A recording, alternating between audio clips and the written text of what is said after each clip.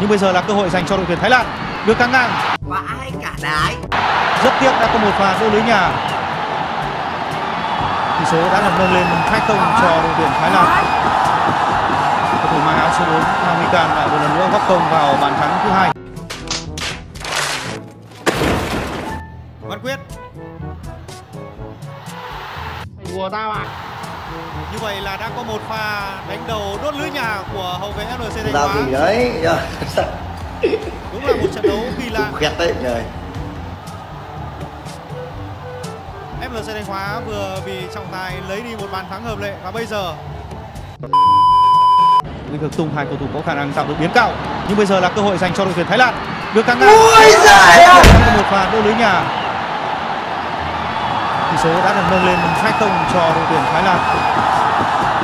Cầu thủ mang áo số 4 Hamikan lại một lần nữa góp công vào bàn thắng thứ hai của đội tuyển Thái Lan.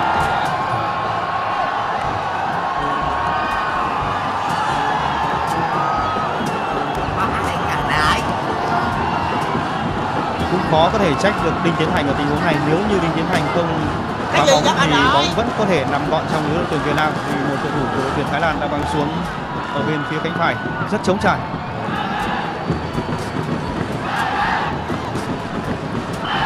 Vấn đề của pha bóng này vẫn là các cầu thủ chúng ta để cho Thao Wikan cầu thủ mang số 4 đã mở tỷ số cho đội tuyển Thái Lan thoát xuống. Onside, it is Indra Putra. Malaysia with the opportunity. It's an own goal. Sao mày ngu thế hả? Unbelievable. It's an own goal. And Malaysia are back in front again, 3-1. Because if it ends 3-2, the Malaysians are through.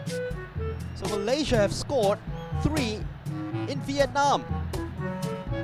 Hmm, không sao không sao chúa phù hộ em putting it chúa phù past hộ his em goalkeeper. Thành Lương Văn Quyết Tao lạy mày cả đón. Như vậy là đã có một pha đánh đầu đốt lưới nhà của hậu vệ FLC Thanh Hóa. Đúng là một trận đấu kỳ lạ.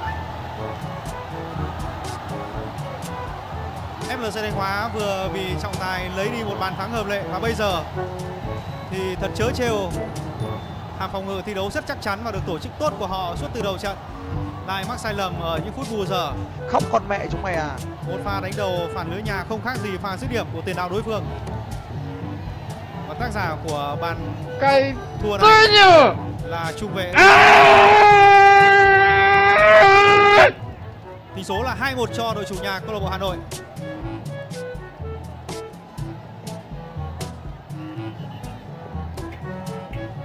Khi Đinh Tiến Thành đánh đầu đốt lưới nhà tất cả các cầu thủ FLC Thanh Hóa đã đổ gục xuống sân